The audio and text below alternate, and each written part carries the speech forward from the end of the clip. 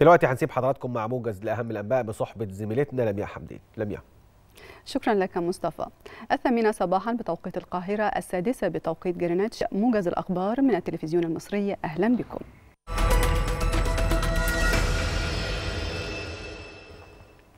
أكد الرئيس عبد الفتاح السيسي دعم مصر الكامل للعراق في ظل الظروف الحالية.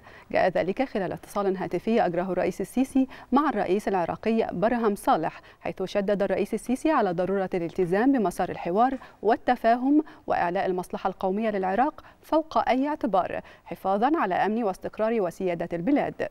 وفي اتصال آخر مع رئيس الوزراء العراقي مصطفى القادمي تابع الرئيس السيسي تطورات الموقف الراهن على الساحة العراقية معبرا عن وقوف مصر بجانب دولة العراق الشقيقة لدعم استقرارها وأمنها.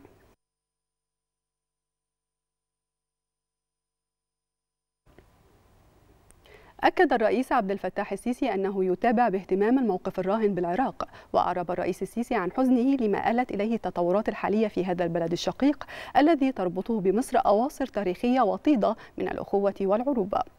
كما أكد الرئيس السيسي على دعم مصر الكامل لأمن واستقرار العراق وسلامة شعبه الشقيق داعيا كافة الأطراف العراقية إلى تغليب المصلحة العليا لوطنهم من أجل تجاوز الأزمة السياسية عبر الحوار وبما يحقق الاستقرار والأمن والرخاء للعراقيين.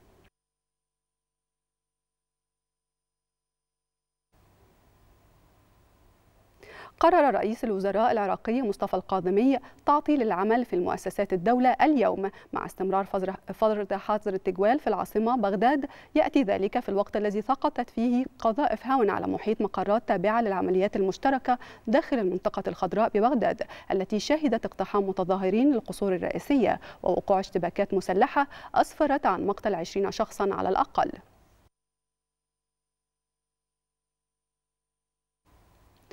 أعلن مدير الوكالة الطاقة الذرية رافائيل جورسي أنه في طريقه وفريق مفتشين عن الوكالة إلى محطة زابورجيه جنوب أوكرانيا.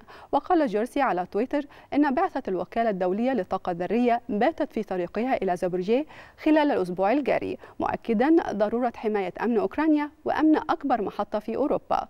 وتتبادل موسكو وكييف الاتهامات باستهداف محطة زابورجيه للطاقة النووية.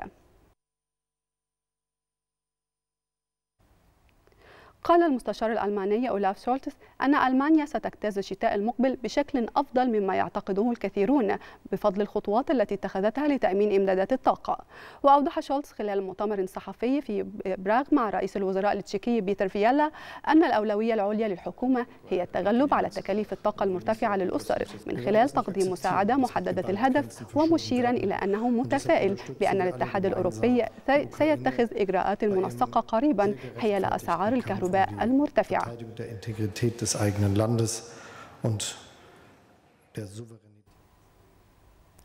تطلق الأمم المتحدة والحكومة الباكستانية رسميا اليوم نداء للحصول على تبرعات قيمتها 160 مليون دولار لتمويل مساعدات طارئة لباكستان التي تعرضت لفيضانات عارمة وقال ستيفن ستيفان دوجاريك المتحدث باسم الأمين العام للأمم المتحدة أن الوضع في باكستان يزداد سوءا مع استمرار هطول الأمطار. هذا ويكافح عشرات الملايين من الباكستانيين أسوأ أمطار موسمية منذ ثلاثة عقود وأودت بحياة أكثر من 1136 شخصا على الأقل.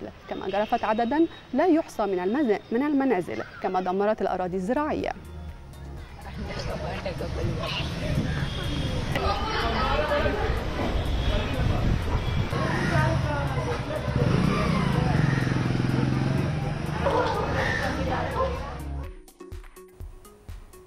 انتهى موجز الثامنة وعودة لاستكمال باقي فقرات صباح الخير يا مصر بعد الفاصل.